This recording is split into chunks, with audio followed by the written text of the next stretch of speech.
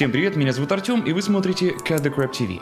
Во-первых, хочу поздравить вас с Новым годом и пожелать вам самого главного – наслаждения от жизни. Желаю вам крутых видосов на YouTube, интересных фильмов и захватывающих видеоигр, ну и, конечно же, собственных приключений и впечатлений. Но, во-вторых, этот видос должен был выйти до Нового года, но в предпраздничной суете я не успел его доделать, так что выпускаю чуть позже. В прошлом видео я вспоминал лучшие сериалы 2019 года, не забудьте посмотреть его, нажав на всплывашку вверху экрана.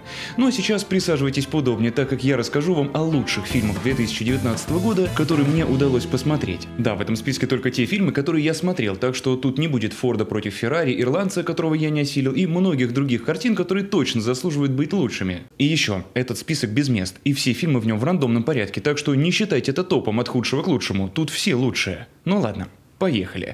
Небольшая ремарка. Когда я монтировал этот видос, мне написали о том, что ссылка на наш телеграм-канал, который я постоянно крепил в описании под каждым видео, оказывается нерабочая. И я понял, что вы можете не знать о нашем крутом телеграм-канале, который вам точно стоит посетить, если у вас есть телеграм.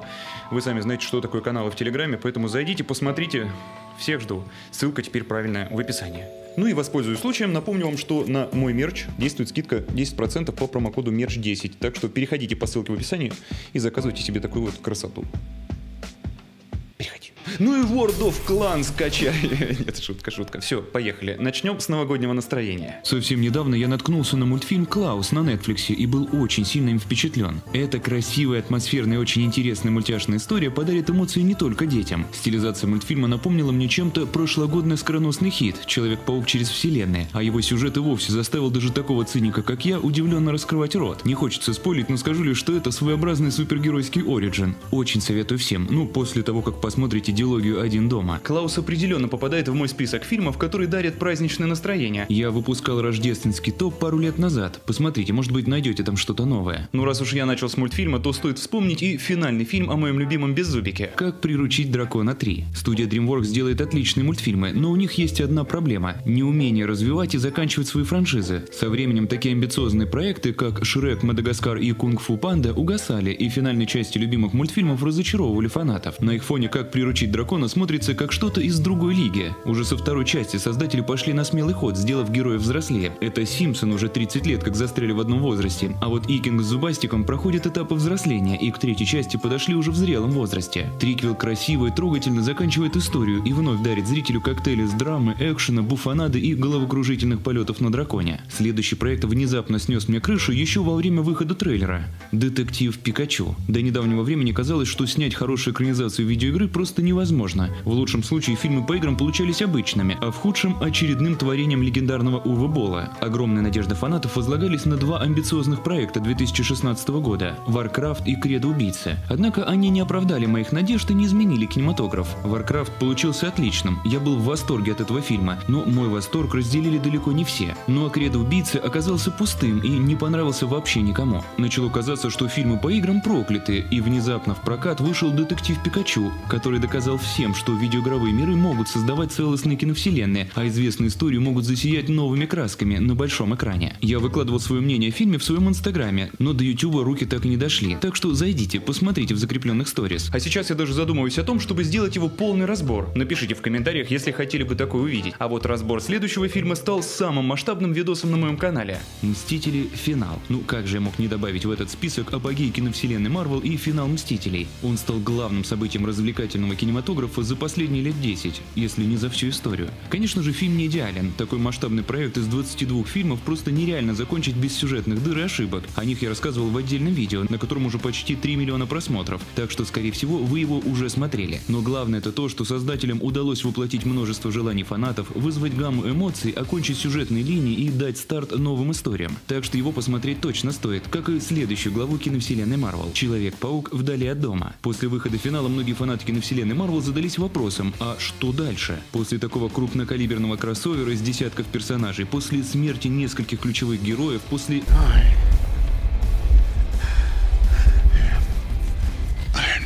зрителей неизбежно ждало падение градуса напряжения и пафоса. И, как оказалось, это пошло киновселенной только на пользу. Человек-паук вдали от дома стал необходимой передышкой после перенасыщенного событиями финала. Мы увидели подростковый род муви с обаятельными персонажами, легким юмором и крышесносным визуалом. Питер Паркер впервые получил сольник, в котором ему удается погеройствовать за пределами уже приевшихся небоскребов Нью-Йорка. За два часа мы успели побывать и в Мексике, и в Венеции, и в Вене, и в Берлине, и в Лондоне, а заодно и в мире иллюзий. И фильм стоит посмотреть хотя бы ради последнего. Ну и, конечно же, «Вдали от дома» просто переполнен пасхалками-отсылками. Я уже, кстати, написал его разбор, но из-за поездки на Комик-кон, о которой расскажу уже в следующем видео, все планы поменялись. Но я обязательно доделаю его уже в январе, так что если ждете, напишите в комментариях. Ну а следующий фильм совсем из другой лиги. «Однажды в Голливуде». Если по поводу некоторых проектов у зрителей были сомнения и опасения, то «Однажды в Голливуде» был изначально обречен на успех. Как вообще мог провалиться фильм, в котором сыграли Марго Робби, Брэд Питт и Леонардо Ди Каприо, а снял все сам Квентин Тарантино? Этот фильм –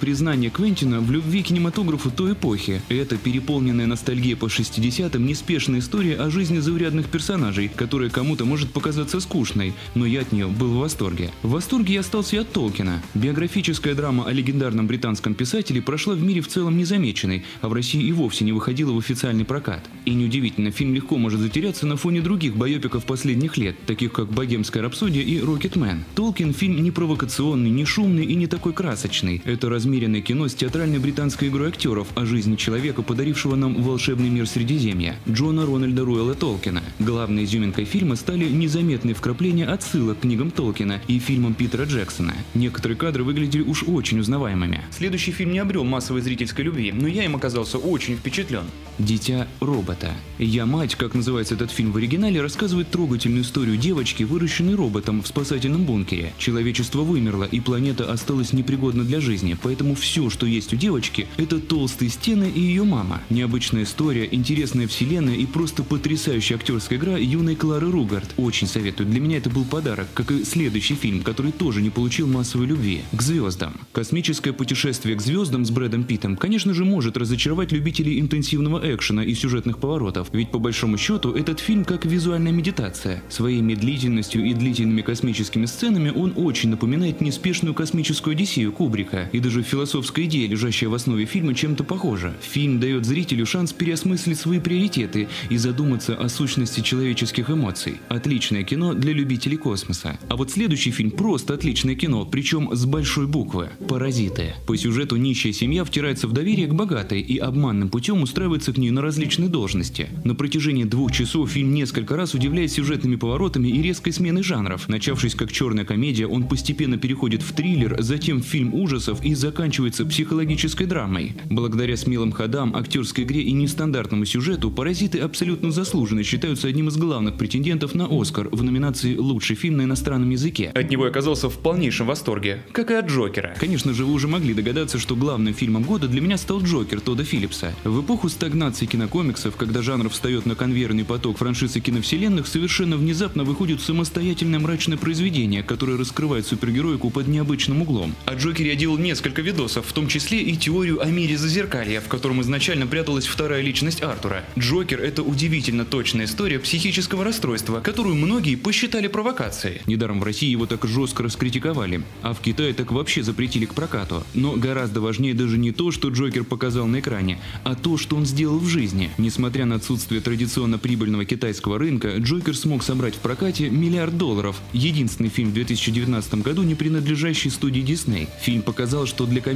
успеха не обязательно прогибаться под Китай и не обязательно выпускать осторожные кинокомиксы по всем стандартам жанра. Теперь весь мир знает, что рейтинг R это не приговор. Подобно Артуру Флеку, фильм Джокер начинает свою революцию в супергеройке, последствия которой нам еще только предстоит увидеть. Ну что ж, это были мои любимые фильмы 2019 года, но на этом видео не заканчивается. Теперь мне хочется подогреть ваш интерес и рассказать о том, какие фильмы я жду больше всего в 2020 году. Начнем по традиции с киновселенной Marvel. В 2020 году самая успешная кинофраншиза в истории вступает в свою четвертую фазу. На покой ушли две главные звезды серии – Стив Роджерс и Тони Старк. И студии еще предстоит понять, в каком направлении двигаться. Если Человек-паук вдали от дома был своеобразным паскриптумом к саге бесконечности, то Черная вдова станет первым полноценным проектом на новом этапе развития киновселенной. И чтобы не рисковать, Marvel решили начать с сольника об одной из героинь оригинальной команды Мстителей. Действие фильма «Черная вдова» будет происходить в промежутке между противостоянием и войной бесконечности. Наташе Романов придется встретиться с призраками прошлого и новыми врагами. Нас ждет знакомство с новыми черными вдовами, злодеем Таскмастером и советским ответом Капитану Америки, Красным Стражем, который уже влюбил в себя зрителей после трейлера. В прокат «Черная вдова» выйдет 30 апреля. Еще одним проектом киновселенной Марвел станет загадочный фильм «Вечные». В нем нам расскажут о расе сверхлюдей, созданных могучими древними божествами – целестиалами. Пока что о проекте мало что известно, однако можно смело сказать, что «Вечные» продолжат путь Стражи Галактики и выведут киновселенную на новый космический уровень, в том числе и актерским составом, ведь Марвел заполучили в свое распоряжение Кита Харрингтона, Ричарда Мэддена, Сальму Хайек и даже саму Анджелину Джоли. Ну и, конечно, вы только посмотрите на то, как изменился Динеш, Кумел Наджани. Ради него только стоит посмотреть этот фильм. Oh.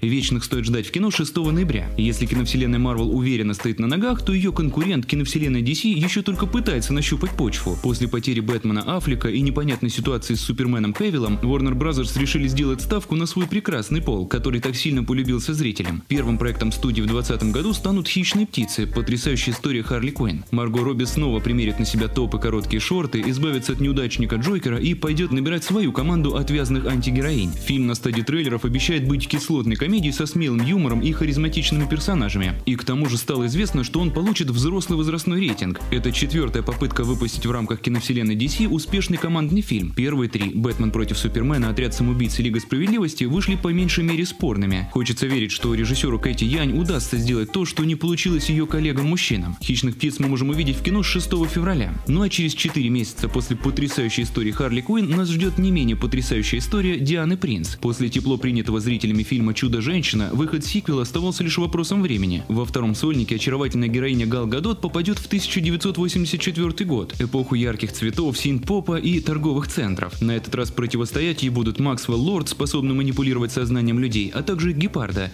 сверхсильная злодейка с кошачьей внешностью. Кроме того, уже известно, что помогать Диане будет ее возлюбленный Стив Тревор, но как ему удалось вернуться и переместиться на 60 лет в будущее, пока что неизвестно. Премьера «Чудо-женщины» запланирована на 4 июля. А мой разбор первого трейлера уже в сети. Жмите на всплывашку. Киновселенная DC и Marvel не единственные франшизы, которые подарят нам супергеройские фильмы в 2020 году. От уже поглощенной Диснеем студии Fox наконец-то выйдут многострадальные новые мутанты, которые то ли связаны, то ли уже не связаны с франшизой Люди X. Изначально новых мутантов планировалось выпустить в апреле 2018 года, но производственный ад и продажа студий несколько раз смещали дату премьеры. Ходили даже разговоры, что фильм вообще не выйдет в прокат или выйдет на стриминге Disney+, но похоже мы все-таки дождемся его на больших экранах. Новая дата премьеры 3 апреля 2020 года, но после всей истории с переносами я уже ничему не удивлюсь. Если когда-то известная франшиза Люди X уже погасла и новые мутанты станут ее постскриптумом, то паучья вселенная Sony без Человека-паука не спешит сдавать позиции. Фильм Веном получил неоднозначную оценку критиков и зрителей, однако неплохо собрал в прокате, во многом благодаря популярности самого персонажа и обаянию Тома Харди. Поэтому второй фильм, конечно же, был вопросом времени. И вот время наступило. Веном 2 обещает рассказать историю знакомства черного симбиота с красным, Карнажем, которого мы видели в финале первого фильма. Режиссером сиквела стал хорошо известный нам Энди Серкис, и поэтому, несмотря на то, что мне не понравился первый Веном, надежда на сиквел во мне все еще жива. Веном 2 выйдет в прокат 2 октября 2020 года. Ну и на волне успеха Венома студия решила выпустить еще один фильм об антигерое с хайповым актером в главной роли. Морбиус. В кинокомиксах DC у Джареда Лето блеснуть не получилось, его Джокер вышел откровенно неудачным, да и экранного времени получил ничтожно мало. Посмотрим, удастся ли ему реабилитироваться уже в экранизации Марвел. Будем надеяться, что успех Джокера вдохновит конкурентов на более смелые эксперименты, и в фильме о вампирах мы увидим достаточное количество крови. Ну а даже если нет, не стоит заранее отчаиваться. При должном подходе фильм можно сделать брутальным даже в рамках PG-13. Вспомните хотя бы кровавую сцену драки Росомахи и Леди Дедстрайк в «Людях X2» или мультсериал «Человек-паук» в 90 90-х, где из-за детского рейтинга Морбиуса заставили пить кровь через присоски на ладонях, и это выглядело даже страшнее, чем классический способ. Удастся ли режиссеру Дэниелу Эспинозе нас напугать и удивить, узнаем 31 июля. Ну а если вы устали от бесконечных кинокомиксов Marvel и DC, то в 2020 году выйдет первая в истории экранизация комиксов студии Valiant – Bloodshot.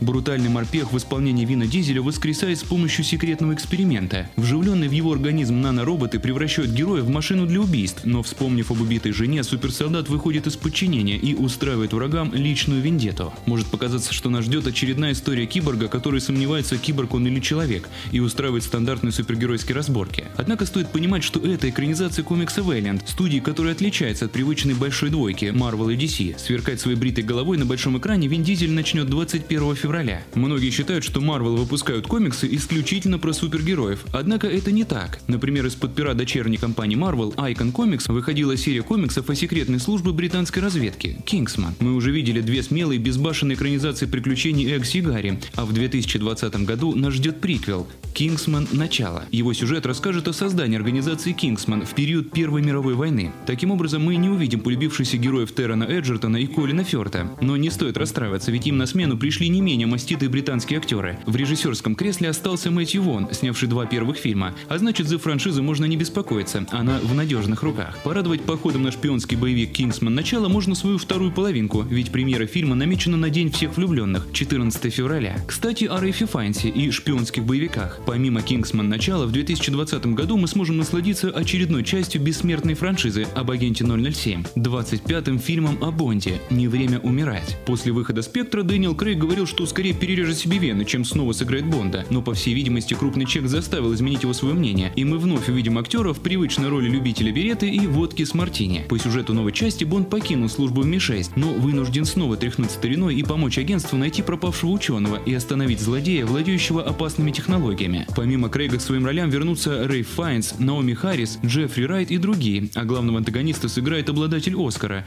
Рами Малик. «Не время умирать» появится в кинотеатрах 3 апреля. Погонями и взрывами будет наполнена и другая премьера 2020 года, правда в ней уже будут преобладать не практические, а компьютерные эффекты. «Соник» в кино станет экранизацией культовой видеоигры 90-х, и если до этого года фильм по видеоигре звучало как приговор, то детектив Пикачу доказал, при должном подходе можно снять ламповое и доброе кино по играм. К тому же концепция Соника будет в чем-то похожей. Нас ждет бади-муви о двух друзьях, одним из которых будет нарисована и перерисованная неведомая зверушка. Фильм вряд ли порадует нас сложным и хитрым сюжетом, однако его однозначно не следует пропускать, хотя бы ради одного актера. Главного злодея в Сонике сыграет любимец публики Джим Керри, который спустя долгие годы возвращается к своему классическому образу кривляющегося шутника. Я делал разбор трейлера Соника, который очень советую вам посмотреть, нажав на всплывашку. Премьера Соника в кино намечена на 20 февраля. Соник не единственная игровая адаптация, которая посетит нас в следующем году. В конце года в прокат должна выйти экранизация знаменитой видеоигровой серии Uncharted про приключения Нейтана Дрейка и его наставника Виктора Салливана. Режиссером картины станет Трэвис Найт, снявший Куба «Легенда самурая». А главной роли достались Тому Холланду и Марку Уолбергу. Фильм должен выйти в прокат 17 декабря, но есть вероятность, что его перенесут. Еще одним фильмом, связанным напрямую с видеоиграми, станет комедия «Главный герой» с Райаном Рейнольдсом в главной роли. Она выглядит как экранизация GTA Online. По сюжету герой Рейнольдса внезапно осознает, что является неигровым персонажем, то есть NPC, и он должен сделать все, чтобы спасти свой мир от уничтожения. Главный герой наверняка будет наполнен отсылками, пасхалками и стебом над видеоигровыми условностями и клише. Хочется верить, что нас ждет действительно свежая остроумная комедия, высмеивающая жанр компьютерных игр, а не еще одни пиксели, которые слабым сюжетом и плоским юмором запороли действительно клевую идею. Выход главного героя на большие экраны состоится 1 июля. В 2020 году нас также посетят сразу два мультипликационных проекта студии Pixar «Вперед» и «Душа». «Вперед» — это не сиквел вверх, как вы могли подумать. Действие мультфильма будет происходить в мире, наполненном троллями, эльфами и прочими волшебными существами. Два брата тролля, которых озвучивают Человек-паук и Звездный Лорд, то есть Том Холланд и Крис Пратт, с помощью волшебного посоха пытаются оживить на один день покойного отца. Что-то идет не так, оживить удается лишь его нижнюю часть. Два с половиной персонажа отправятся в путешествие по волшебному миру и попытаются разгадать загадку исчезновения из него магии. А вот душа расскажет нам о школьном учителе, который внезапно умирает и попадает в загробный мир. Кажется, Pixar решили развить тему, затронутую в тайне Коко. Нас наверняка будут ждать очередные увлекательные приключения, полные загадок, сюжетных поворотов и обязательно трогательного хэппи-энда. Уж кто-кто, а Pixar умеет выжимать слезу. Вперед выйдет в прокат 6 марта, а душа 17 июня. Как вы уже поняли, душа расскажет нам о добрых духах и светлой стороне загробного мира. А вот в новых охотниках за привидениями духи явно не будут так дружелюбны. В 2020 году выйдет третья часть охотников за привидениями «Охотники за привидениями. Наследники». Формально третий фильм в этой киновселенной уже выходил в 2016 году, но он был настолько ужасен, что о нем решили забыть все, в том числе и студия. К тому же он не был связан сюжетно с предыдущими частями, ведь Билл Мюррей, Дэн Экроид и Эрни Хадсон сыграли в нем других персонажей. В этот раз они вместе с Сигарни Уивер вернутся к своим образом, однако в центре внимания будет новая команда. Создатели фильма, видимо, увидели, как хорошо смотрелись в костюмах охотников за привидениями герои очень странных дел и решили последовать примеру сериала. Охотники выйдут на экраны 9 июля. Попытку стряхнуть пыль с культового творения 80-х предпримет и Дэнни Вильнев, которого недавно ассоциации критиков назвали главным режиссером десятилетия. Он срежиссирует очередную экранизацию романа Фрэнка Герберта «Дюна». Это уже третья попытка перенести Дюну на большой экран, и первые две вышли достаточно спорными. Мини-сериалу 2000 года года явно не хватило бюджета и глубины сюжета, а фильм 84-го снимал мастер сюрреализма Дэвид Линч со всеми вытекающими из этого плюсами и минусами. Вильнев своим прибытием и «Бегущим по лезвию 2049» уже доказал, что умеет снимать медитативную фантастику с глубинными смыслами и цепляющим сюжетом, так что я уверен, он не подведет и в этот раз. Убедиться в этом мир сможет 19 ноября, а вот в России премьера намечена аж через месяц, 17 декабря. Ну а самое вкусное я оставил напоследок. Пусть Вильнев и был назван главным режиссером десятилетия, зато его коллега Кристофер Нолан получил в народе более лаконичный и знаковый титул – «Гений». И в 2020 году «Гений» порадует нас новым фильмом «Теннет», который в русском дубляже назвали «Довод», видимо, чтобы сохранить в названии полиндром. Сейчас в сети уже есть первый трейлер фильма, но даже он не очень проливает свет на его сюжет. Все, что можно из него понять, так это, что секретный агент возвращается из мертвых, чтобы предотвратить события хуже, чем ядерная война за счет манипуляций со временем. То, как мастерски Нолан умеет играть современным потоком, он уже показывал в «Помне», «Престиже», «Начале» и «Интерстелларе», так что в заигрывании со временем режиссер чувствует себя как рыба в воде. Не знаю, как для вас, а для меня это самый ожидаемый фильм 2020 года, и ждать его придется до 17 июля. Это были не все ожидаемые мной фильмы. «Джентльмены» от Гай Ричи или «Невидимку» я тоже очень жду,